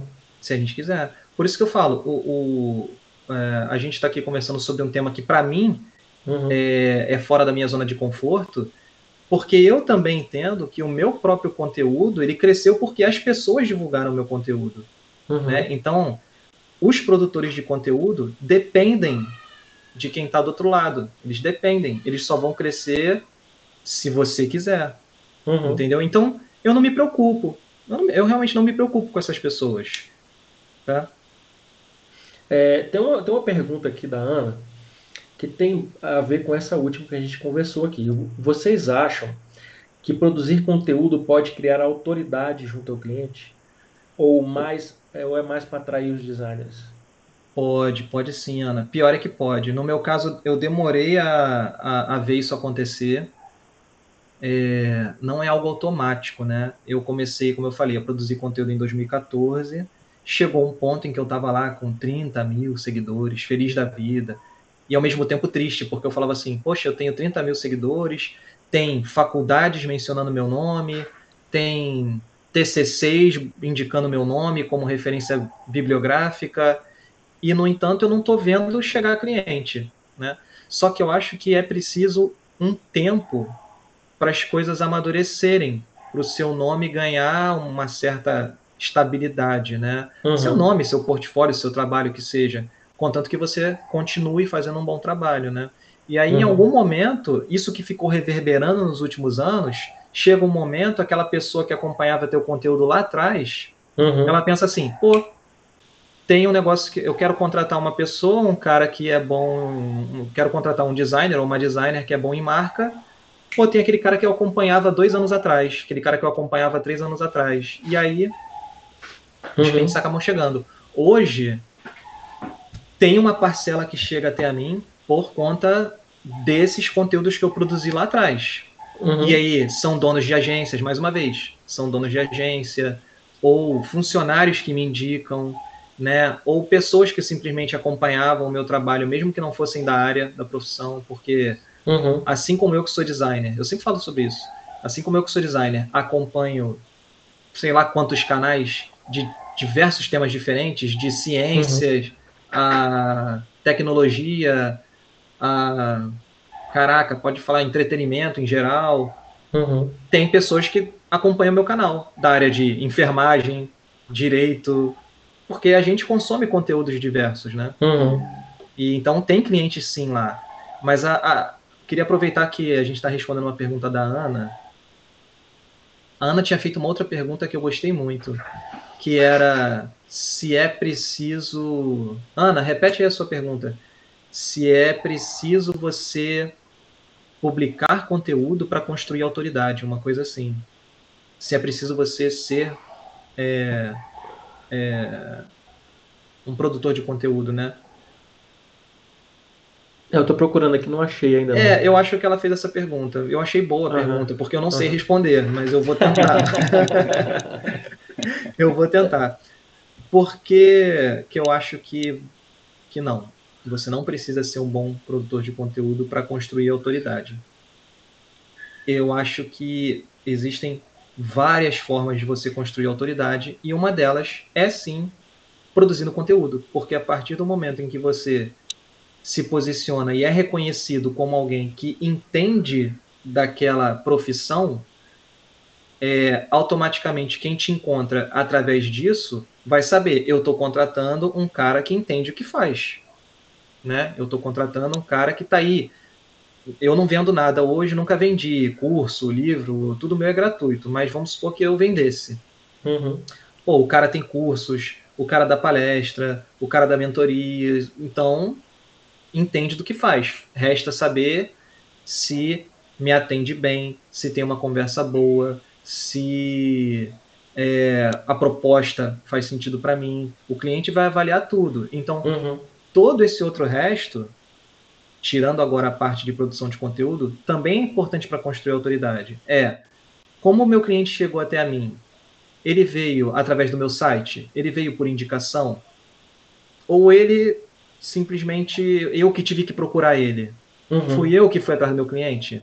Uhum. Tudo isso, desde o início do primeiro contato com o cliente, vai influenciar na percepção e construção dessa autoridade. Claro. Né? Então, se eu. É claro, eu sei que. Eu sempre também falo sobre isso. Eu sei que muita gente prospecta e corre atrás de cliente. Uhum. E isso tem como dar totalmente certo. Eu conheço amigos que fazem muita grana porque prospectam muito bem. Eu não sei fazer isso, porque eu sou péssimo em vender. E eu estou aqui falando de autopromoção, por isso que eu falo que para mim é um tema complexo, porque eu não vendo o meu trabalho. As uhum. pessoas vendem, os meus clientes vendem meu trabalho. Que os, bom. outros, os outros designers. Que bom, né? Que você não, é. não precisa é. tanto. É, mas eu, são os meus clientes. Eu procuro uhum. fazer um atendimento, eu quero que o cliente se sinta. Eu quero surpreender o cliente, eu quero que ele se sinta à vontade para conversar comigo. Uhum. Eu quero que ele se empolgue com o projeto enquanto o projeto está acontecendo. Eu quero que ele fique ah, o meu objetivo no final do projeto é, é fazer o cliente pirar. Uhum. E sério, e o Yuri está aqui, eu não sei se o Yuri que trabalha comigo, que não foi aquele que fez a pergunta, não, é outro. Eu acho que ele está aqui. Ele sabe disso. Enquanto uhum. a gente não chega num ponto onde eu consigo ter aquela sensação, porque a essa altura de apresentar o projeto eu já conheço o cliente, eu tenho que conhecer muito bem, eu tenho que estar quase amigo do cliente, né? Quando uhum. eu chego na hora da apresentação do projeto, eu quero empolgar, eu quero impressionar. Se eu uhum. não cheguei nesse ponto ainda, eu não apresento. Eu ah, falo para Yuri, Yuri, vamos continuar testando, não tá bom uhum. ainda, vamos pedir, pô, vou pedir mais uns três dias aí de prazo só para a gente montar a apresentação matadora. E aí claro. o cliente teve um processo comigo muito próximo e quando chega no início do projeto ele já tem que confiar em mim e no final do projeto ele já tem que estar tá assim, ele, ele, quer aprovar. Eu quero aprovar a marca desse cara, não importa nem uhum. o que ele uhum. mostrar, eu já quero ver porque eu quero, eu tô curioso, eu quero aprovar. Uhum, uhum. Eu quero, e aí é, isso ajuda nessa construção também de. Legal. O de Yuri falou que está presente ali. e a Lilian, ela localizou aqui a pergunta da Ana, né? É, Walter, você acha que é, é, que é possível criar essa autoridade pela qualidade do trabalho ou é, é uhum. é interessante criar algum conteúdo nas redes sociais? Foi a pergunta uhum. que ela fez. Sim, é. é eu, eu acho que essa autoridade ela não está necessariamente atrelada à, à, à, rede social, no geral, né? Uhum. Depende da autoridade, né, Ana? Você quer construir autoridade com outros designers? Aí beleza. Aí a rede social é, é o caminho. Não tem para onde fugir. Porque uhum. você só vai alcançar outros designers através da, das redes sociais, né? Uhum, eu acho que as redes sociais também te ajudam a chegar nos clientes, mas o cliente é sempre desconfiado. A gente é cliente de outras, outras empresas, né? Então, uhum. não basta só eu entrar no site de fulano e ver que ele tem 100 mil seguidores. Isso não uhum. é, não me, não me, não me transmite segurança ainda, né? Uhum. Eu tenho que ver se, vou dar um exemplo ótimo. Essa semana mesmo, eu tava eu faço exercícios dentro de casa mesmo. Não, não, nunca fiz academia quando eu tinha 20 anos, mas eu sempre me exercitei em casa. Eu só faço e... dormindo. Uhum. e aí, vira e mexe, eu pesquiso referências para me dar é, programas diferentes de exercício. Eu uhum. contrato um, fico um ano, na internet mesmo, eu contrato um serviço que eu vou ficar um ano malhando o cronograma daquela pessoa ali. Daqui a pouco eu vou e procuro outro no ano seguinte. Uhum. Né? Aí essa semana eu estava procurando um cara que é cheio de inscritos, cheio de seguidores, apareceu na minha timeline lá no Instagram. Aí eu olhei e falei, bom, conhecido o cara é. Agora vamos ver se não é, não, não vou só avaliar se o cara é bom, porque eu não sou professor de educação física, então eu não sei avaliar se ele é bom, uhum. né? Mas eu olhei o site, vi os textos, eu vi vídeos dele falando sobre o programa dele e eu não gostei de nada. Eu simplesmente olhei e falei assim: não senti confiança. Então, assim, autoridade talvez ele tenha para outras pessoas, uhum. para outros até professores, talvez, não sei, que conheçam uhum. ele. Mas eu, como cli possível cliente dele, eu olhei para aquilo e não me identifiquei. Achei uhum. o texto ruim. Falei, cara, o texto não está claro, o vídeo não está claro. Então, assim, cheguei nele? Cheguei. Funcionou? Não. Então, por isso que eu falo, não adianta só ter volume, não adianta só ter uhum. inscritos. Você tem que. Uhum. Tudo isso, todos os momentos em que você tem a oportunidade do cliente ver o seu trabalho ou conversar com você, é aí que você constrói uhum. a sua autoridade. Por isso que quando eu falei dos clientes internacionais, é, é mais difícil construir autoridade com eles. Até pela questão do idioma mesmo. Eu tenho fluência, mas é muito mais fácil eu me comunicar com um brasileiro, onde eu entendo a cabeça do brasileiro, eu entendo a cabeça dele como funciona, eu estou na mesma cultura que ele. Então, para eu vender os meus serviços para ele e nessa conversa eu ir ganhando a confiança dele, é muito mais fácil do que com um gringo. Uhum, entendeu? Uhum, muito uhum. mais fácil. Nem se compara. Uhum. Walter, a gente está se aproximando aqui de, de uma hora de live aqui.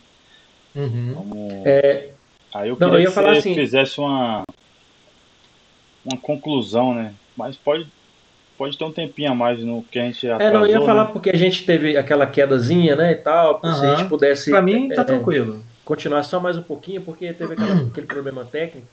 Até uhum. assim, eu fico até olhando aqui, pessoal, pro lado aqui, porque tem um outro computador que eu tô vendo as perguntas, né, vendo... Eu também tô vendo aqui. O que o pessoal tá, tá mandando, né? E tem uma pergunta que o próprio Yuri fez, ele tinha mandado, né? que uhum. eu acho que é uhum. interessante, né? Devo me posicionar de maneira ampla ou focar apenas num segmento específico? Porque isso é a dúvida talvez de muita gente, né? Pô, será que eu vou me especificar, é, especializar, aliás, uh, como um designer de marca só, porque eu gosto mais, mas poxa, pinta trabalho de, de editorial e eu, eu, preciso uhum. pagar minha uhum. conta, né? Como é que você acha assim? Você, o que, que é melhor? É o velho papo do generalista ou especialista, isso, né? Isso, isso mesmo. É cara, também não tenho uma resposta. Na verdade, eu, eu acho que, que existe um meio termo aí, que é os dois valem a pena.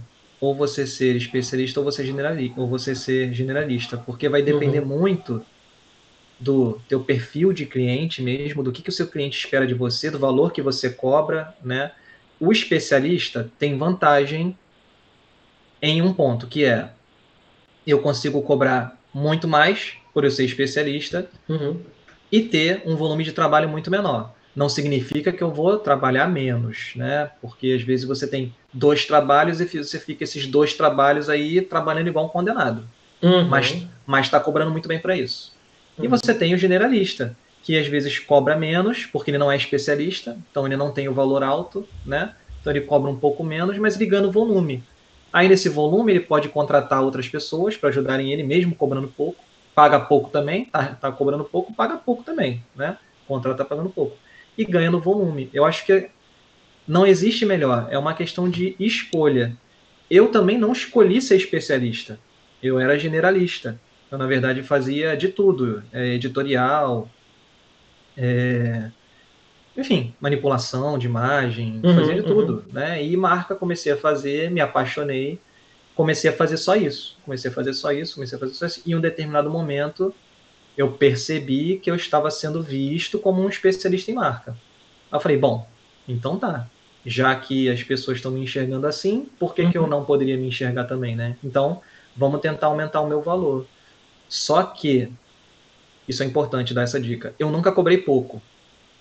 Eu nunca cobrei pouco, nem no início, porque eu sempre quis me posicionar de uma forma onde o cliente sempre visse que o meu trabalho tem valor. Então, mesmo quando eu estava começando, eu cobrava um valor que eu considerava era ali em 2007, 2008, meu valor já era junto ali da tabela da Degraf. Uhum. Estamos aqui na Degraf, já Sim. batia ali, se não fosse mais alto. Entendeu? Então, uhum. Porque eu, comecei, eu sempre acreditei que o meu trabalho tinha valor e eu sempre tive esse diálogo com o meu cliente, de tentar fazer ele entender o valor do meu trabalho. Uhum. Se não tem valor para ele, ou se ele não tem grana para me pagar aquele valor, é claro que eu sou muito flexível, é claro que eu já cansei de, abaixar, de baixar meu valor uhum. para cliente, faço até hoje, se for o caso, mas num primeiro momento eu me estabeleço lá em cima, porque se ele tiver que abaixar o meu valor, ele não vai sair daqui para cá. Ele uhum. vai sair daqui para cá. Uhum. Entendeu? Uhum. uhum. Então, é, ter essa mentalidade de que se eu começar cobrando pouco, eu vou continuar cobrando pouco. É difícil você escalonar. Ah, eu cobro 300 reais para fazer marca. Você vai cobrar 300 reais por muito tempo, cara. Uhum. Vai cobrar 300, vai aumentar para 400. Para quem daqui a 5 anos está cobrando 700. Agora, você começa cobrando um valor mais alto, sendo que o teu trabalho tem essa qualidade uhum. para cobrar isso, porque você tem que ter a entrega também, né? Não adianta cobrar 3 mil e entregar um projeto de 500. Tem que entregar um projeto de 3 mil. Entendeu? É, isso tem a ver com a, a, última live que nós fizemos, né? Quer dizer, na verdade, a primeira da Degraf, mas a, a última que nós fizemos foi, foi sobre precificação. Uhum. O pessoal que de repente não, não viu, né? Tá lá na, na, na, no nossa, nosso canal do YouTube. Uhum. E, cara, eu acho que tem a ver também com essa questão de, de, como você se promove, como você se posiciona, né?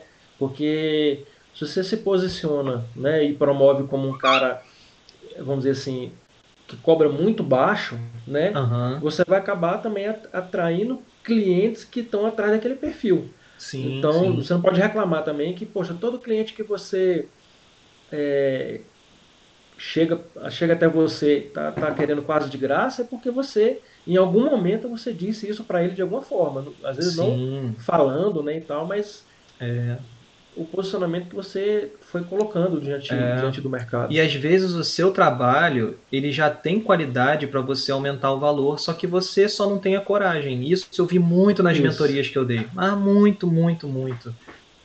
É, teve gente que fez mentoria comigo que eu vou dar valores reais, eu não vou mencionar nomes, mas eu vou dar valores reais. Claro, claro. A pessoa cobrava 2, 2,200, 2,500 no máximo por um projeto de marca. Uhum. E estava insatisfeito, né? Não consigo, não consigo cobrar mais. Aí eu ficava assim, aí eu vi o trabalho, eu vi a apresentação, eu vi o modelo de contrato, eu vi a proposta. Falei assim, cara, o que que tá te faltando para tu cobrar mais? Ah, eu não consigo, eu não aprovo, eu não isso, eu não aquilo. Aí alguns problemas eu percebi que estavam no processo, na conversa com o cliente, porque a proposta era muito bem feita, bem escrita, é, o trabalho era muito bem feito, mas o cara não conseguia era, vender, né? Não conseguia, era, é, e não é nem questão, por isso que eu falo, eu não, eu não sou vendedor de forma alguma, mas eu tento entender que eu estou conversando com pessoas. Então, a partir do momento que eu estou conversando com pessoas, eu consigo entender como ela pensa, porque uhum. eu também sou cliente, eu também sou uma pessoa, ora, uhum, né? Claro, claro. Então eu sei como é quando alguém quer me vender alguma coisa. Designer, só quer... designer também é gente, né? É, exatamente. Quando alguém chega para mim, eu vou contratar alguma coisa, e eu tô vendo que a pessoa está se esforçando para me vender, eu não vou comprar, eu, eu, eu, eu, tenho que confiar na pessoa, tem que, a pessoa tem que chegar, é, se é algum tipo de serviço, né? Ela tem que me fazer perguntas, cara ela tem que querer entender qual é o meu problema. É, essa é a primeira coisa. Se eu chego, estou precisando de algum serviço e a pessoa só chega para mim falando assim: Você quer que eu te ajude? É mil reais. Ah, tá, é assim? Beleza. Então eu não, não vou mais. Vamos supor que fosse um contador. Contador, tô com um problema aqui e queria a tua ajuda. O que, que você quer? Ah, eu quero é, abrir minha empresa. Ah, é tantos reais. Tá, então vou procurar outro que cobre mais barato. Agora, se o contador chega para mim e fala assim, tá, mas me fala um pouco mais sobre sua empresa. Por que, que você precisa abrir uma empresa? Ah, por causa disso, disso, disso, disso, tal. Você vai ter funcionários, né? Como é que, qual é a sua expectativa de, enfim, começar a me fazer pergunta. Uhum. É nessa pessoa que eu vou confiar. Uhum. Mesmo que ela me cobre mais, se eu tiver condições, mesmo que ela me cobre mais do que o cara que me cobrou metade. Uhum. Eu cansei de aprovar orçamento aí com o meu orçamento sendo três vezes maior do uhum. que a uhum. concorrência, quatro vezes maior do que a concorrência, e a pessoa falando assim: eu vou fazer contigo porque eu gostei de você. Uhum. Olha como é que a pessoa importa, né? Não é, uhum. não é eu achei seu trabalho maravilhoso. É eu gostei de você. Uhum. Você, a pessoa, Walter. Então a uhum. pessoa importa muito. A falha do cara estava nesse momento da conversa. É, é mostrar para a pessoa que você não é um preço Uhum. Seu trabalho, não, o valor dele não está no preço, o valor está no que o cliente recebe, no, no naquilo que você está ajudando ele a resolver, porque não é necessariamente um problema, né? Mas uhum. naquilo que você ajuda o cliente a alcançar, uhum. a alcançar. Uhum. E aí ele enxerga valor. Né? É, essa questão que você está falando dessa, tem muito a ver com a questão dessa autopromoção e como você se posiciona e como você mesmo acredita no seu trabalho. Uhum. Né? Porque quando você tem confiança naquilo que você faz, lógico, ninguém está dizendo que a gente é perfeito, que de repente não tenha projeto, né? Tem que uhum. melhorar e tal, mas assim, a gente, eu, o que eu percebo é que muitas vezes a pessoa tem até um bom trabalho. Esses dias eu estava olhando, acompanho alguns grupos no Facebook, né, de, de designers, uhum. e eu percebo assim que tem algumas pessoas com um trabalho legal, e na hora de cobrar, é, poxa, você vê que fica quem, né? E é uma coisa que a gente, a gente da Degraf briga muito para que a, a questão do, do, do, preço né, seja uma questão valorizada. Não é que tem que ser caro, mas ele tem que uhum. ser justo, né? Mas o camarada falou, não, mas eu estou acostumado, a... o comentário foi mais ou menos assim, não, eu estou acostumado a cobrar nesse valor, o pessoal tal, mas é um cara uhum. que merecidamente podia cobrar um valor maior, porque ele já é como se ele estivesse num nível além daquele ali, né? Uhum. É, é interessante mesmo. E aí, só complementando uma coisa que eu não falei, não é para empolgar nem desestimular ninguém. Essa pessoa em específico, que cobrava dois, no máximo dois e quinhentos, num próximo, num momento muito próximo, conseguiu cobrar 14 mil num projeto. Opa. Aí eu falei, cara, agora tu que tem que me dar uma mentoria, né? Porque. Mas assim, esse foi caso, foi caso único, tá? Mas uhum. a maioria das pessoas que eu conversei conseguiram dobrar o orçamento, conseguiram cobrar, sei lá, 50%, 60% a mais, porque às vezes é só uma questão de mudar a lógica da conversa. É o que o Yuri falou ali. Uhum. Ouçam o que o Yuri fala, que esse moleque é muito inteligente. Falou, a decisão é sempre no nível emocional primeiro. O cliente racionaliza uhum. depois. Uhum. Ele, vai, ele vai pensar em. Tu, é, a gente acha que ele vai sempre pensar em preço, preço, preço. Mas uhum. se a conversa fluir naturalmente, é o emocional que conta. Claro. Né? Beleza, vamos, vamos fazer uma última pergunta, pode ser? Vai. Tá bom mim? Eu já estou acostumado a ficar duas, três horas em live, então. Na verdade, até para o pessoal, até explicar para o pessoal, de repente alguém chegou depois, a gente está com uma proposta de lives com uma duração de cerca de uma hora. Às vezes passa um pouquinho, né, alguma coisa assim, igual hoje uhum. a gente teve um problema técnico no início, mas a ideia é que não seja cansativo para quem está assistindo e também não seja cansativo para o nosso convidado, porque para fazer ele voltar, né? De repente chama o volta de novo em outra ocasião aí. Pode e chamar. Ele, né, e ele e, e, ser uma coisa mais dinâmica mesmo, né? Uma coisa mais um bate-papo, uma coisa assim, informal, mas séria, né? Informal, mas com, com o objetivo de passar um pouquinho da sua da sua vivência, experiência no design. É, em relação a, a, essa coisa da autopromoção, a última pergunta aí. Você quer fazer a pergunta, Davi? De repente você está com uma engatilhada aí? Eu estou procurando alguma aqui que enviaram pela, pelo Instagram. ah, eu recebi aquelas lá do Instagram também que mandei é, para você. É, essas, essas aí que eu tô mais olhando. Menos, elas são mais ou menos dentro do que a gente, do que você já falou, do que a gente comentou, né? É... Deixa eu ver aqui. Pô, o Postura. Márcio, Pode falar. O Márcio, o Márcio ali, Márcio C, falou uma coisa que é muito interessante e é realmente o desafio. Hum. Que ele falou assim: o desafio não é só conseguir cobrar 14 mil uma vez, mas de forma uhum. recorrente. Ah, sim, sim. Obviamente, se esse for o objetivo da pessoa, né? É, isso aconteceu comigo. Em 2000, eu posso abrir valores, não tem problema. Em 2011, eu consegui cobrar um projeto de 17 mil reais. 17. Uhum. Uhum. No final das contas, o que entrou pro meu bolso foi 4 mil, mas eu cobrei 17 e foi a primeira vez que eu vi. Eu não vi, eu vi 4 mil, mas foi a primeira vez que eu ouvi uhum. é, que, iria, que eu iria cobrar um valor tão alto assim na minha vida. E aí eu uhum. falei, estourei, né? Estourei, isso lá em 2011.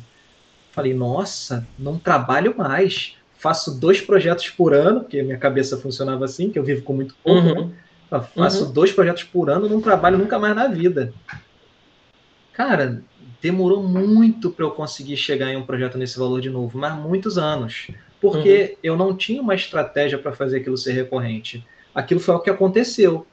Uhum. E aí, só depois de um tempo, é que eu estava com maturidade para entender por que, que naquela época eu consegui cobrar um uhum. valor tão alto uhum. e por que, que eu não consegui manter.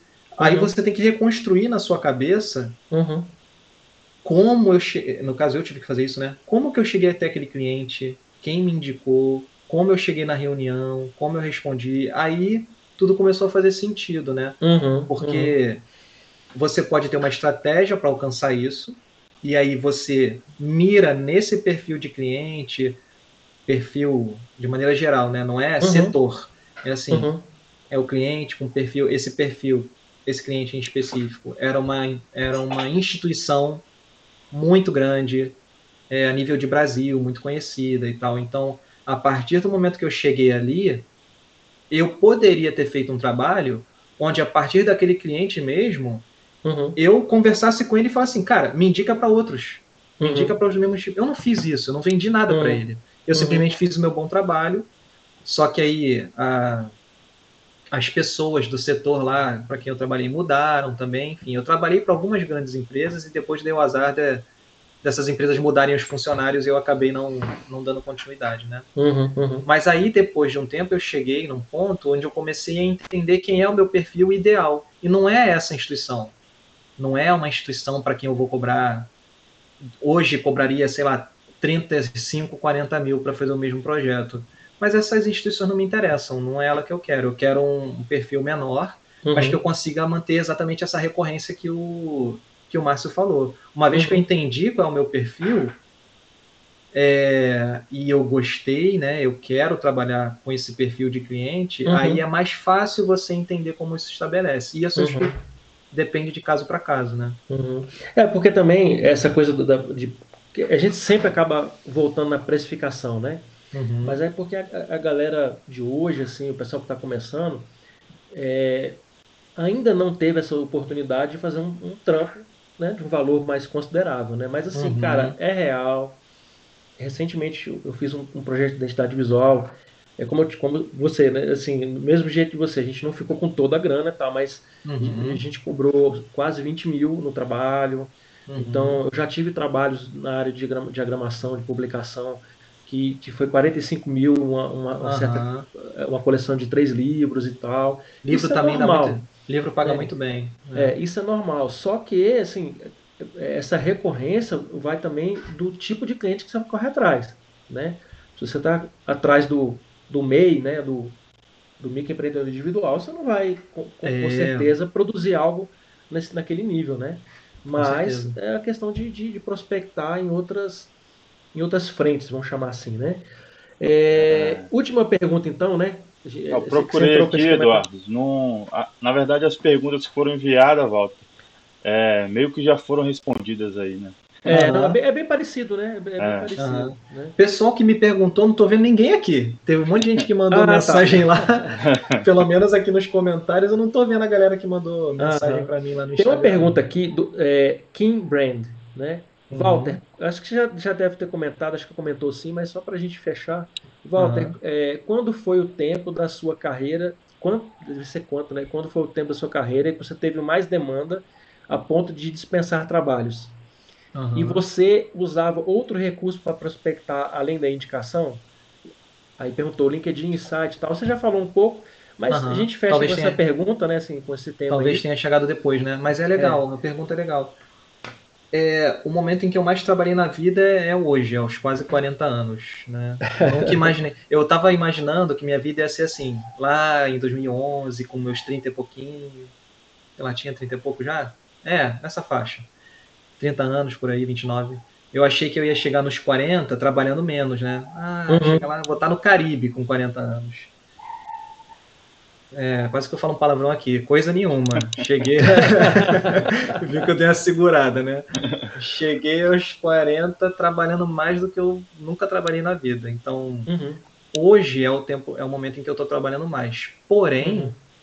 não está sendo uma coisa muito saudável, assim é realmente uma fase. E eu entendo, eu sempre tive muitos ciclos, né? Eu vivo em ciclos. Eu tento ter o meu mínimo ali, que é a coisa da estabilidade que o Márcio tinha falado, né? Eu tenho minha base, que é onde é o suficiente para eu me manter bem, feliz com o meu trabalho, ok, realizado. Eu sou uma pessoa realizada com o meu trabalho, muito. Mas tem vezes em que começam a vir os picos, né? Uhum. E, e, e, aí tem horas que eu me embolo, que eu fico muito trabalho, mas eu sempre contrato pessoas, o Yuri mesmo, o Yuri que está aqui, é um cara que está em quase todos os projetos comigo hoje, desde 2018 né, para cá. E eu nunca prospectei cliente. Eu já uhum. falei isso em outros lugares, na, e mais uma vez, não é uma crítica a quem prospecta. Eu vou dar um exemplo aqui, tá? Porque eu acho que a pessoa tendo um método correto, mais uma vez lembrando da, daquele ponto de que uma negociação ela, ela envolve muito o emocional. Se você prospecta tendo essa noção de que é uma conversa e você flui bem isso com o cliente, ok, você vai conseguir coisas boas. Uhum. Mas eu não tenho é, capacidade de prospectar. É uma questão que eu tenho dificuldade. Uhum. Porque eu não me imagino, eu fico imaginando, comparando ao seguinte cenário eu nunca vou dar crédito para um médico que bate na minha porta, né? O médico vai bater na minha porta, eu abro e a pessoa chega para mim e fala: Opa, tudo bem, Walter? Eu sou médico. queria saber se. Peraí, queria saber se você tá com febre. Tá tudo bem? Ó, tô achando você meio vermelhinho, hein, cara? Teu olho tá. né? Eu vou ficar assim, começar a acusar os meus problemas, né? Tô achando que você tá, tá com a cara muito boa, não. Aí eu tá, a pessoa quer me vender o serviço dela, eu não quero, eu não pedi para um médico bater na minha porta, uhum. né? Eu acho que eu penso que, que eu seria esse médico se eu fosse prospectar. Uhum. Eu ia ser visto dessa forma. Então, a minha autoridade é cair lá para baixo, porque é, é eu estou demonstrando para o meu cliente que sou eu que preciso dele. Uhum. Nesse caso do médico que bate na minha porta, é ele que está precisando de mim. Em princípio, né? Uhum. Pode ser que ele tenha razão, pode ser que eu esteja realmente com um problema grave que tá graças vendo, né? a ele, é, que graças a ele, né, que viu que eu estava com hematoma na cara e eu não tinha visto, graças a ele ele resolveu. Mas só que eu acho que o número de tentativas até encontrar alguém que realmente tenha um problema e que não ache ruim o fato de chegar recebendo uma crítica, porque tem gente que prospecta assim, né? E isso eu acho que é arriscado, que é Oi, cliente, tudo bem? Olhei seu site e vi que tá uma titica. Eu sou designer, eu vou te ajudar. Pô, você vai ofender a pessoa. Né? Não, e, e ofende que... o seu colega designer que provavelmente fez o site. Que fez, né? é, exatamente. Então, assim, se for essa sua ideia de prospecção, eu acho que é muito arriscada. Dependendo do método, pode funcionar. Então, eu sempre preferi com que tentar fazer um bom trabalho e às vezes até conversar com o cliente, pô, você se pintar outro, tu me indica. Eu uhum. acho isso totalmente ok, né? Uhum. Porque aí quem chegar até a mim já vai chegar com uma noção mínima uhum. de, do meu trabalho, com eu já vou chegar com o um mínimo de, de é, é, até, até eu, eu quero fugir do, da palavra autoridade, sabe? Autoridade uhum. para mim me soa, me soa ruim, mas eu vou uhum. usar com o mínimo de, de autoridade para esse cliente, porque ele já tem alguém que me referenciou e que já tem noção do meu preço, se bobear. Então vamos uhum. supor que, dando o exemplo lá de é. quem cobra uhum. pouco ou muito, vamos supor que eu tenha cobrado 3 mil para um cliente. O cara que me indicou, se o cara fizer outro contato comigo, ele vai saber que meu valor mínimo é 3 mil. Entendeu? Uhum. uhum. Não, beleza, beleza. Eu acho que a gente já, já chegou no horário bom. A não ser que o, que o Walter queira co continuar conversando, mas. Não, eu faço lives aqui de três horas de duração, então eu tô, é. tô acostumado. E hoje, não, não, mas assim, a, a, proposta realmente é, é, fazer uma coisa mais assim, tranquila, que não, não seja cansativa para ninguém, né? A gente pode uhum. até voltar com o Walter e aí. A gente outro, faz outra, outro assunto. Que... Né? Eu acho que é legal. Talvez também. sobre design de marcas, hein? Seria uma boa live. Vieram várias perguntas relacionadas a isso, né? Uhum, ah, agora eu tô vendo gente conhecida aqui, hein? Já vi. Só Opa. dar um, um, salve aqui para claro. Luiz, tá aqui Luiz Maia, pro, pra Diana, tá aí. O Yuri tá em todas, né? O Yuri, eu meio que convoco ele. Uhum. Eu falo, Yuri, não, vai lá dar, dar uma moral. É. Se, se não for, sabe o é, que vai acontecer. Não, não paga o próximo projeto. Tá é. Mas é Mas isso beleza. aí, né? É, assim, queria, Walter, te agradecer de novo, né? Eu que agradeço. É, em nome da Degraf aí, a gente agradece mais uma vez você nos ajudando aí a, tentar levar um conteúdo, né, de, de qualidade, algo interessante. Uhum. É, agradecer a Degraf novamente, né, que está pro, proporcionando isso aí. A gente ainda está com esse, um problema técnico aqui e ali, a gente está crescendo, né? Mas a ideia realmente é a gente é, é, vencer esses desafios aí. O Davi é ele que está mais na frente na parte técnica, ele está se não fosse ele, né, até agradecer o Davi, porque se não fosse a sua tentativa e a sua busca aí de, de resolver essas coisas, a gente não estava online agora, né? Agradecer ao nosso presidente, Marco, que está aí acompanhando também, que está visualizando o. Obrigado, Marco, também. A live aí. E dizer que você é sempre bem-vindo aí, né? Vamos tentar fazer outros eventos aí. Lembrando, pessoal, que semana que vem tem live. A gente vai divulgar direitinho, né? É, com o Bruno oh. Porto. Né? Excepcionalmente, a gente não vai fazer na quinta-feira, uhum. porque o Bruno ele não está morando aqui no Brasil e tem uma questão de fuso horário. Então seria meio, meio ruim para ele esse horário, né, né, Davi? Isso, vai ser porque... na, no sábado, dia 29. Deixa eu ver é... se eu tô com o livro do Bruno Porto ali às 16 horas. Vai ser uma hum. live. É, o Bruno lançou recentemente uma publicação Atribuições de um Design Brasileiro, onde ele, ele conta N histórias deles nessa uhum, andança uhum. pelo mundo design, né? Uhum. E, e aí a gente vai receber ele no, no sábado, dia 29, às 16 horas.